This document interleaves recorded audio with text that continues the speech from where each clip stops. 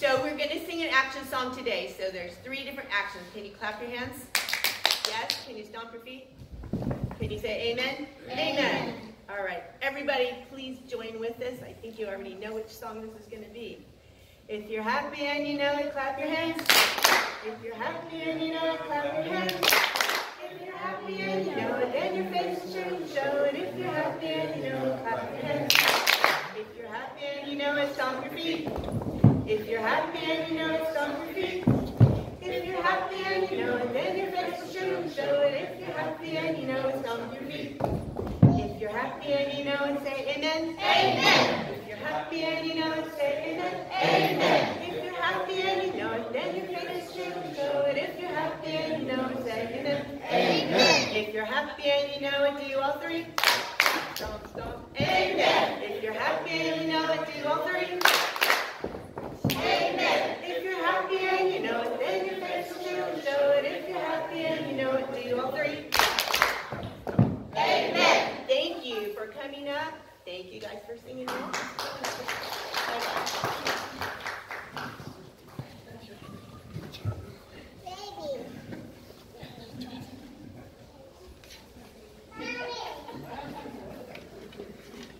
Let's pray. Lord, we thank you for the way that you've been at work during the Bible times, but also the way that you've been at work in the time since the Bible was written. We thank you for the work that you did in renewing the church through Martin Luther. We thank you for the work that you've done over and over again as people have lost the focus on your love and your grace, or people have lost a clear picture of who you are. Lord, thank you for your continually renewing the church. And we pray that you would renew us today. In Jesus' name. Amen. So today, we jump to the third of the three movements that I, I, explored this summer. And as I said, the reason I did these explorations was that since our church mission statement is, see if you can remember, connecting upward, connecting inward, and outward, that I wanted to look at places in church history where the church has been renewed, where they sort of lost their ability to connect upward, in, inward, and outward, and the Spirit has gotten a hold of them and moved them in powerful ways to restore those things. So we looked at the 1700s in Germany with a bunch of Bohemian refugees coming up to a, a Count's estate and how they, the Moravians, would end up turning the world upside down beginning in the 1700s.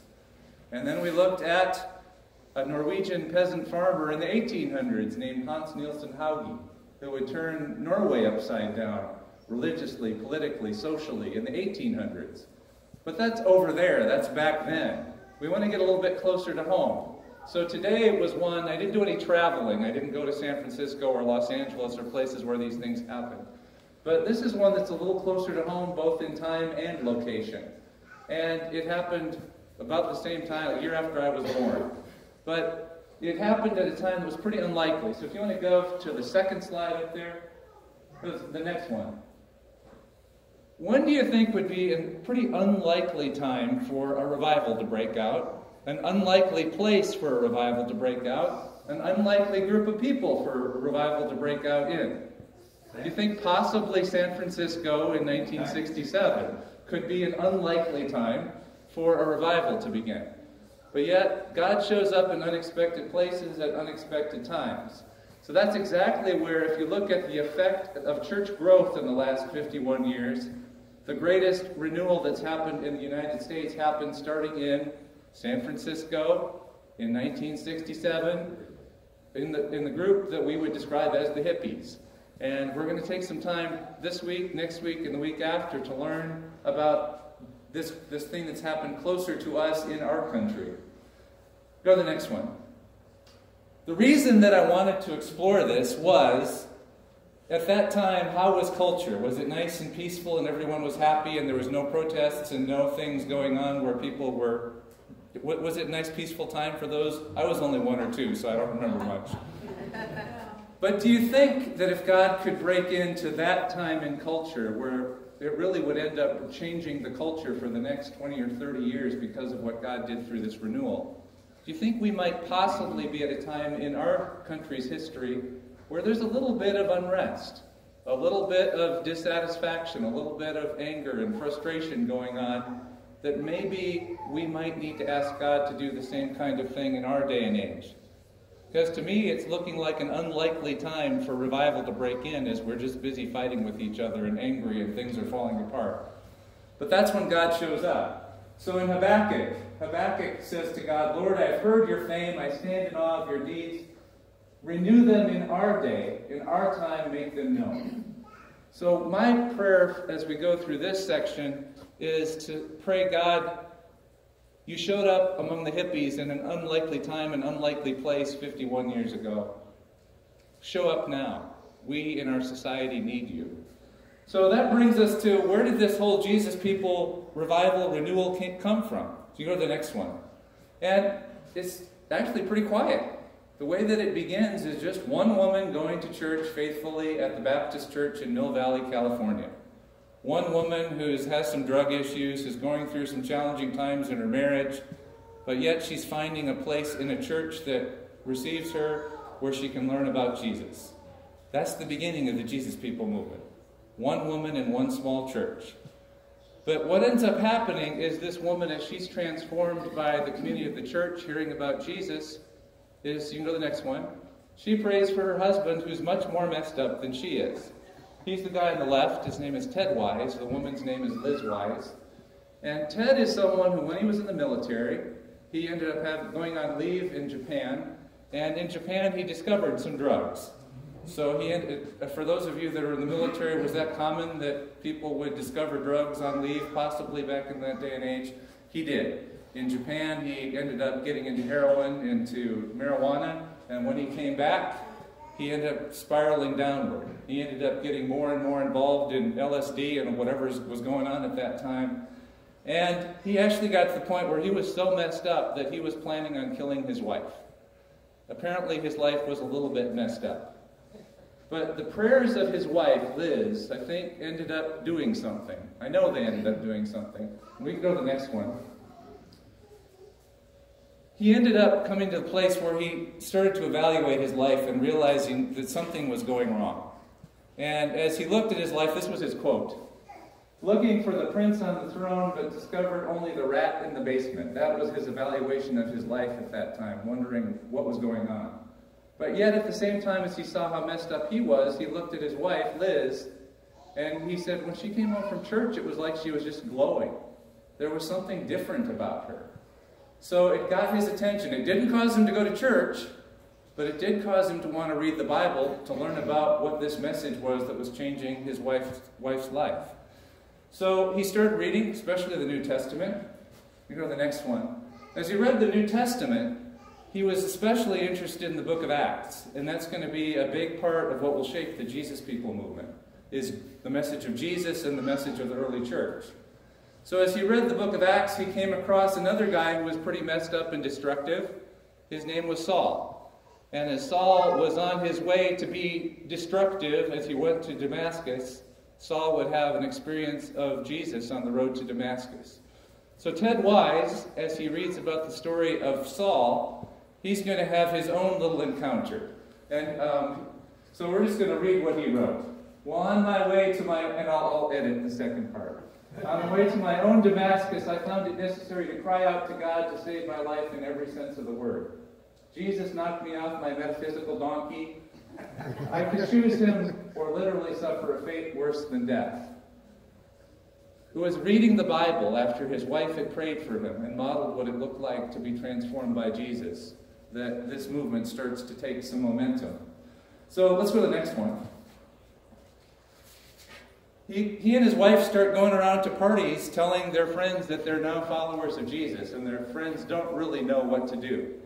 But one Saturday night, after both of them take a hit of LSD, they go out and do some partying, and they tell their friends about their faith, and on their way back across the Bay Bridge, whether it's the LSD or other influences, it's like he says that he has this vision of the bridge just all of a sudden starting to go straight up.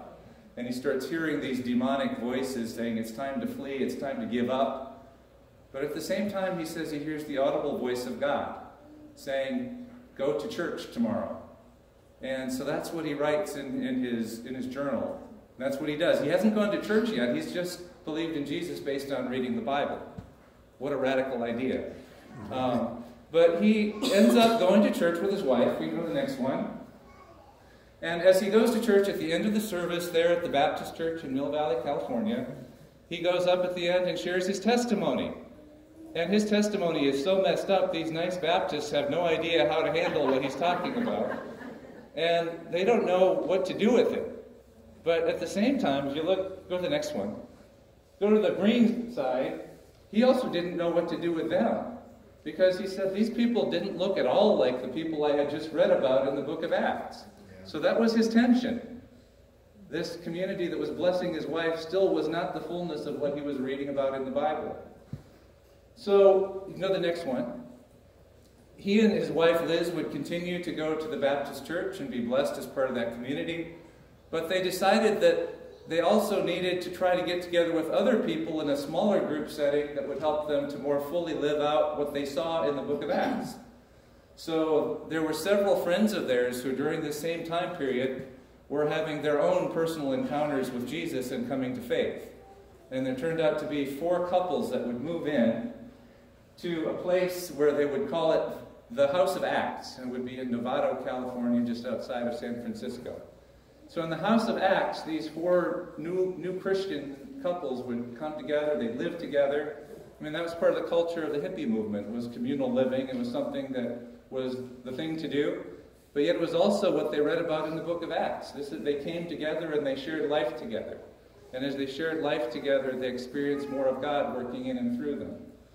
So this group of people, this four couples, they focus on worshiping. When the Holy Spirit gets a hold of you, what do you do? You start connecting upward with God in a more powerful way. You start focusing more on prayer and worship.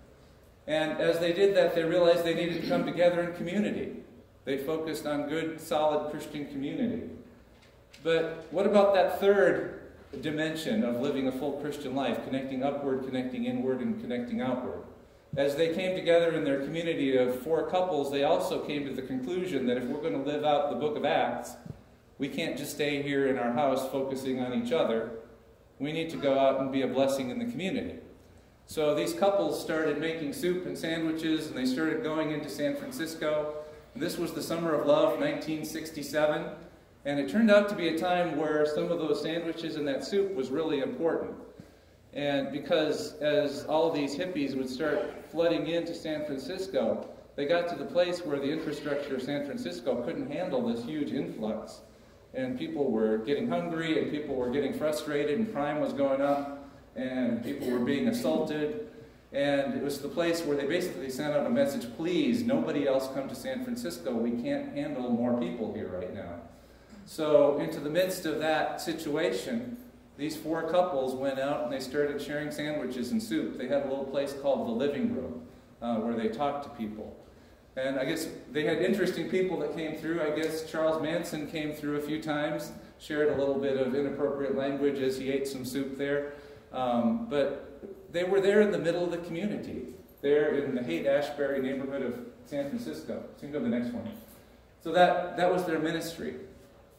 But as they lived out their Christian faith in community and, in the, and going out to serve the city in San Francisco, they also started to recognize other people. You can go to the next one. You probably don't realize this, but this guy may be the most influential person in church in the last 50 years other than Billy Graham, but you probably never heard of him before. We're going to learn more about him next week. But he was a hippie named Lonnie Frisbee. And this hippie we're going to talk about next week. But he is someone who is going to have an encounter while out doing his hippie thing in a canyon in Southern California. He has an encounter with God, and we're going to talk about that next week. And he's going to move up to San Francisco because he's a gifted artist and he has an art scholarship in San Francisco. But after his encounter with God, he is going to start preaching on the streets of San Francisco that summer, the same time that the people from the House of Acts are out there doing their outreach ministry. And so these couples see this young guy and they think he's passionate, but his theology is really screwed up. So what they end up doing is they invite him into the community. They invite him to move into their house, and they mentor him. And as they mentor him, they start to straighten out some of his theology. And um, we're going to find out that this, this person is going to be the one who's basically going to be the start of three movements. Part of the Jesus people, he's going to start the Calvary Chapel movement, he's going to start the Vineyard movement because of their investment in him at that time when he's trying to figure out what his faith is about. So, with that, we're going to talk about him next week. But what I want to do is talk about what we learn about how this movement started and what it can tell us as a congregation that we need to be focusing on. So let's go to the next one. I think the first thing is just how it started. It didn't start with some big fancy program. It started with one faithful church ministering to one woman who came to church needing the love and the message of Jesus.